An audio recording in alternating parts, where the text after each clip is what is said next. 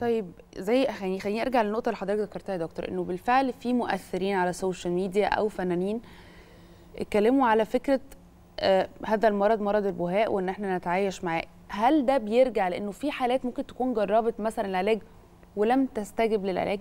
أنا قلت لحضرتك إن إحنا آه، شرط نجاح العلاج إن المريض يتوجه بدري للطبيب. الحالات مثلا تبقى الإيد كلها بقت بيضة لحد هنا. بس ممكن يا دكتور ده صعب أحيانا جدا بتظهر. يعني أحيانا بتظهر بقع ممكن الناس ما تاخدش بالها منها. يعني ممكن تظهر بقع مثلا في الظهر ممكن تظهر بقع صغيرة بجد ممكن ما حدش لا النقط الصغيرة لا تعد بهاء. البهاء يعني أنا دايما بقول للعيانين بالبلدي كده بقعة قد الجنيه ولونها لون اللبن. مم. قد الجنيه ولونها لون اللبن. وانس إن ده يحصل لازم تيجي تكشف عند الطبيب. ممكن يطلع حاجة أخف من كده بس ده مرحلة لازم نبتدي فيها علاج آه لا طبعا البهاء له علاج بس مش كل الحالات علاجها زي بعض. يعني في الحالات اللي هي بقى لها سنين طويلة وانتشر في أكتر من 50% من جسمها أنا بقدر بضطر بعد كده إن أنا ما أقدرش أرجع اللون لطبيعته فبشيل بقية لون الجلد الطبيعي البني. وأخلي الجسم كله أبيض. الإيدين اللي هي وصلت لحد هنا كلها ما أقدرش أعمل خ... زراعة خلايا لكل الإيد. آه. ما أقدرش أعمل كده. إنما في حالات تانية كتير ليها علاج. أقدر أقول أكتر من 80% من الحالات أو 90% من الحالات ليها علاج. المشكلة الوحيدة اللي حصلت في الفترة اللي فاتت زي ما حضرتك قلت كده المؤثرين اللي قالوا تعايشوا معاه وبلاش تتنمروا والمسلسلات اللي طلعت خلت الناس تراجعت فترة طويلة جدا العلاج وفقدت الأمل وأحبطت وده مش صح. يعني ده تأثير كان سيء جدا من ال social media ومن آه، الدراما على آه، مرضى البهاق. لأن معظم الحالات كان ليها علاج وتوقفت. المشكلة إن المريض بعد ما بيتوقف فترة المرض بيبتدي يزيد بيوصل مرحلة في النص لا قادر يتعالج. ولا قادر يستحمل الوضع اللي هو فيه. لا طبعا المرض له علاج ومن بدري لو رحت للطبيب نسبة العلاج ونسبة الشفاء فوق ال 90% ومش مكلف. مش مكلف في معظم الحالات. مم. في معظم الحالات مش مكلف.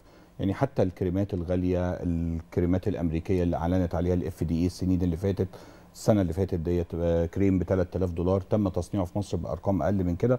ورغم غلو ثمنه في مصر عن العلاجات التانية اللي موجودة العلاجات التانية الموجوده شغالة من سنين وبتجيب نتائج من سنين وعليها أبحاث من سنين ومش محتاجين نشتري حاجة غالية عشان نعالج البهاء. إيه، طب نقدر نقول إن الإنجاز العلمي ده تحقق سنة كام يعني؟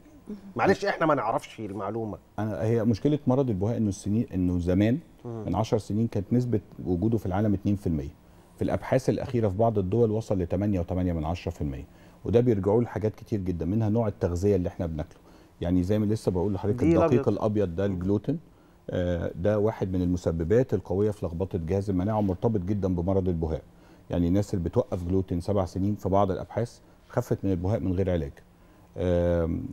الحاجة الثانية إن الأبحاث اللي موجودة والعلاجات الموجودة بقى لها سنين طويلة جدا. هي بس بتبقى تطور بسيط في خطوات العلاج. يعني طريقة الجراحة خطوة معينة في الجراحة طريقة فصل الجلد في الحتت اللي فيها بهاء طريقة زراعة الخلايا.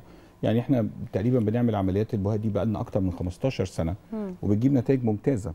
ال- التوعية بالطريقة العمليات وبالعلاج ما كانش عالي قوي في الفترة اللي فاتت وده اللي خلى الناس كتير جدا تبقى يائسة من العلاج. دكتور أنا يعني أنا أعرف حالات بشكل شخصي بالفعل يمكن ظهر عندهم هذا المرض بسبب أزمة نفسية. يعني فعلا ناموا زعلانين من موقف معين صحيوا لقوا إنه هذا المرض بانت علاماته واثاره على جلدهم. لو في حالة إن الشخص بيمر بأزمة نفسية وحتى توجه للطبيب طبيب جلدية عشان يقدر يعالج بس هذه الأزمة النفسية مستمرة عنده هيستجيب للعلاج ولا لأ؟